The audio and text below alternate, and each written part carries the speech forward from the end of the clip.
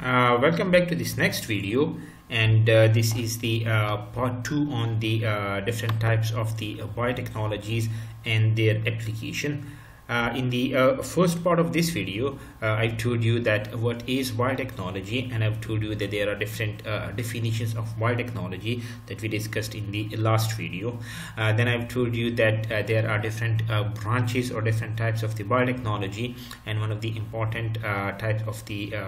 biotechnology is the bioinformatics that actually is involved in developing methods and software tools to understand and effectively use biological data.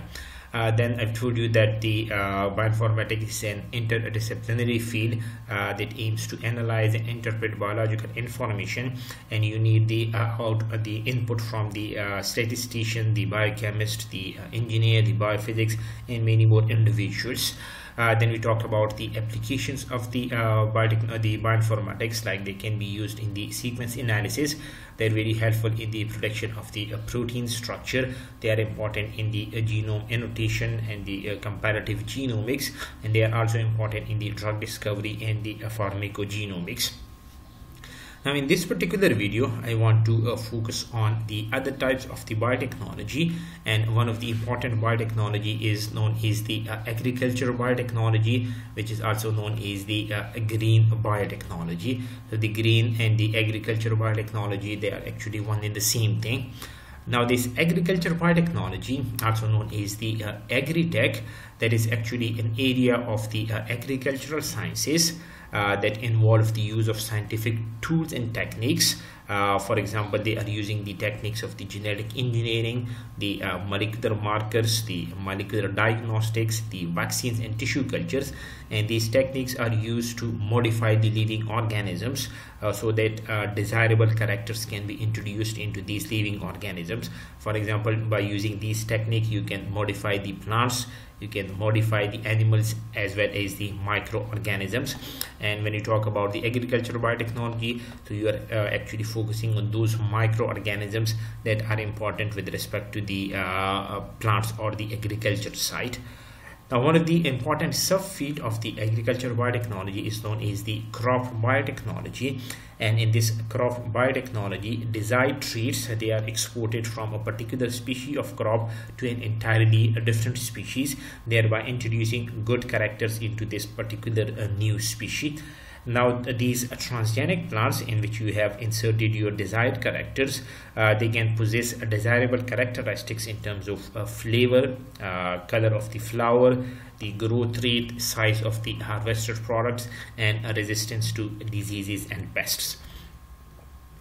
Uh, the aim of the green biotechnology or the agriculture biotechnology is to uh, tackle the uh, food security issues. Um, the population of the world that is increasing and uh, you need strategies uh, to ensure that all of the uh, people on the uh, face of the earth they get the food. So the aim of the biotechnology is to tackle these uh, food security issues so that all individuals are available with the uh, food. Another important aim of the green biotechnology is to produce plant for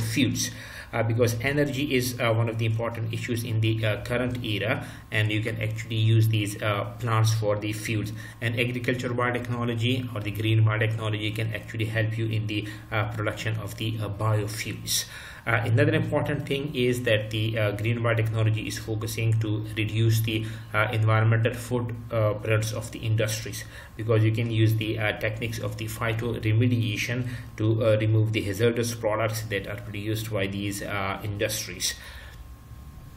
the uh, talk when you talk about the applications of the green biotechnology uh, one of the important application is the uh, plant tissue culture. Now this plant tissue culture is actually a collection of techniques that is used to uh, maintain or grow the plant cells tissues or organs under sterile condition or a culture medium of a known composition which can later on be uh, grown in the uh, fields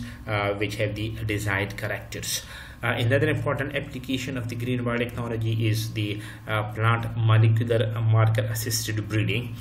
Now this uh, molecular assisted breeding or the marker assisted breeding uh, that is actually the uh, application of molecular biotechnologies especially the marker the DNA markers uh, in combination with the linkage map and genomics to alter and improve plants or animal traits on the basis of genotypic assays. So once you have introduced the uh, desired genetic material into the uh, plant, so to confirm them, you can actually use these uh, molecular marker assisted breeding so that you can be sure that the plant you are growing in the field is having the uh, desired genetic composition.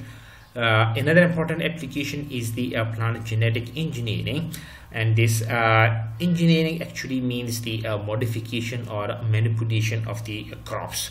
And the uh, plant genetic engineering is actually uh, making the uh, crops that are very helpful in introducing crops uh, with variable traits to produce plants that require fewer pesticides so you have to uh, they will be uh, making their own pesticides. You have genetically modified them. They will be requiring fewer pesticides uh, fewer fungicides or fertilizers and can be more resistant to stress conditions. And if you are uh, making such plants which require less pesticides and fungicides that means you are helping to improve the uh, environmental conditions of that particular area uh, another important application is the uh, biofertilizers. Uh, now these biofertilizers, they actually are substances uh, which contain uh, living microorganisms uh, which when applied to seeds, plant surfaces or soil, they actually colonize the rhizosphere or the interior of the plant and when they colonize the rhizosphere or the interior of the plant they can actually promote the growth by increasing the supply or availability of primary nutrients to the uh, host plants. So in the future uh, you may be uh, seeing something like this in the fields. Like you may be having the transgenic maize the stress tolerant plants the transgenic mustards and a lot of things uh, and plants which have been uh, genetically modified to produce the uh, desirable characters now whether or not the green biotechnology products uh, the uh, products that you are uh, genetically engineering them they are ultimately more environment friendly uh, is the topic of considerable debate. Uh, that means uh, a lot of debate can, is there whether these genetically modified plants they are environment friendly or they are not environment friendly. It is a topic of considerable debate uh, another important types of the biotechnology is known as the uh, white biotechnology and this white biotechnology is also known as the uh, industrial biotechnology.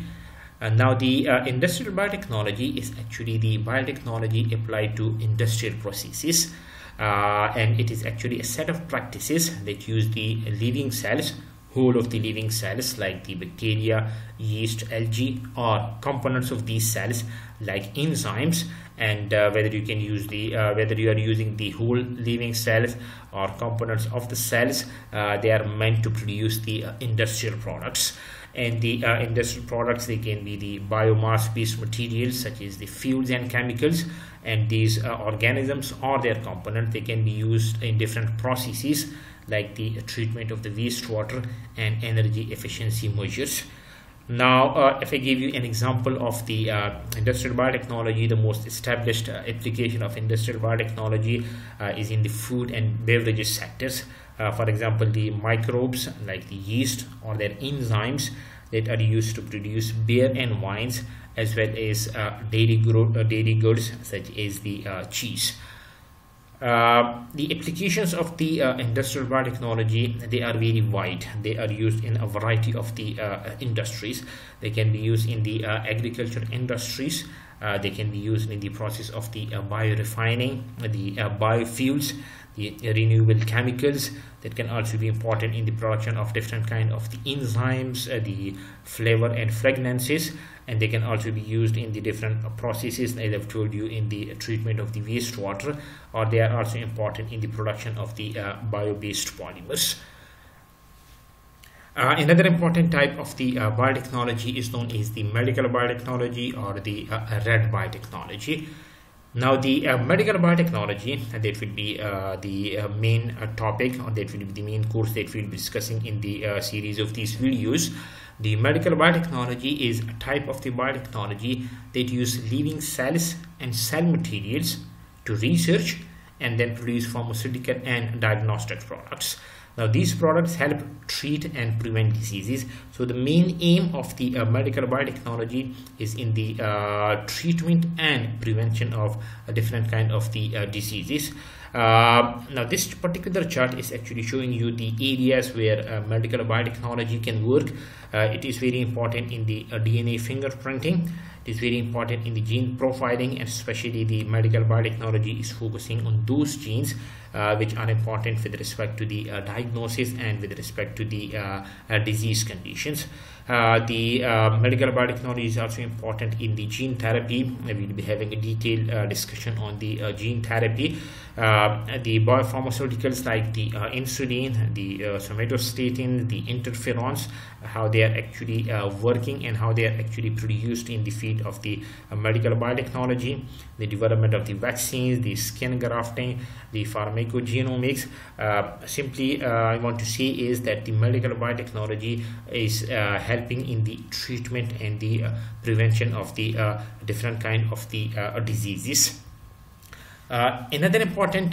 type of the biotechnology is known as the marine biotechnology or the blue biotechnology. Now the marine biotechnology that actually exploits the diversity found in the uh, marine environment in terms of the form, structure, physiology, and chemistry of marine organisms, uh, many of which have uh, a non-equivalent in land in ways uh, which enable new materials to be realized. As these organisms are not present on the land they are only present in the marine environment. So you can expect a lot of novel things from these uh, particular uh, living organisms in the uh, marine environment and these marine organisms they can have uh, industrial applications. They can be actually important in the production of the novel uh, bioactive compounds because they have not screened because you have not screened them because they are not present on the land. They can be important in the uh, pollution indicator and waste management. Uh, they are very important in the development of the uh, biodegradable nanomaterials in the development of different uh, pharmaceuticals um, another important types of the uh, biotechnology is known as the yellow biotechnology or the insect biotechnology. Now this aerobiotechnology uh, uh, is actually refers to uh, the biotechnology uh, dealing with the insects and uh, the biotechnology is extremely important in the identification of the active ingredient or genes found in these insects uh, which can be characterized and can be used for research and applications in agriculture, medicine, and in many different ways. Uh, if I give you some of the examples uh, where the uh, different products are coming from these insects, like you can have different kind of the biopolymers, like the xanthan gum, the alginate, the agarose, a different kind of the enzymes can be isolated from these uh, uh, insects like the amylases, the glucose isomerases, the lipases, the proteases, different kind of the amino acids like the lysine, alanine, glutamic acid, the carboxylic acids and different kind of the carboxylic acids they can also be uh, extracted from these insects like the uh, citric acid the lactic acids and the uh, acetic acids so this was just uh, an overview of the uh, different types of the uh, biotechnology and their applications. Now, sometime you may be thinking that these biotechnologies they are actually overlapping with each other especially when you talk about the medical biotechnology and the industrial biotechnology. Uh, you may be seeing that they are actually overlapping with each other. So uh, these uh, classification are only meant to give you a, a broader view or the uh, broader types of the uh, biotechnologies and they may sometime merge with each other. So one thing can be under the uh, heading of the uh, medical biotechnology as well as the industrial biotechnology for example as well so if you like the video please uh, subscribe to my channel hit the like button and share it with uh, your friends